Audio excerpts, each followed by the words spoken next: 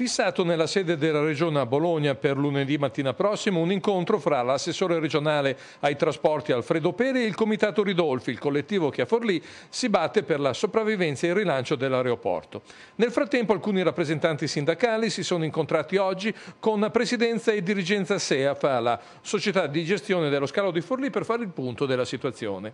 Alle preoccupazioni espresse dal segretario generale della CGL forlivese Enzo Santolini, il sindaco Roberto Balzani, in qualità qualità di socio di maggioranza di SEAF, ha assicurato che, pur costretti dal buco di bilancio di 10 milioni a congelare gli accordi con le compagnie aeree che dovrebbero sostituire Winjet, le retribuzioni non sono in discussione. All'aeroporto di Forlì lavorano complessivamente circa 200 persone, in SEAF operano una cinquantina di addetti, il resto si suddivide nell'indotto interno, cioè ristorazione, vigilanza, facchinaggio, parcheggi e altro. A preoccupare i sindacati sono soprattutto la sessantina di contratti a termine. Senza i voli di nuove compagnie aeree a Ridolfi nel 2011, il ricorso all'attivazione degli ammortizzatori è quasi obbligato.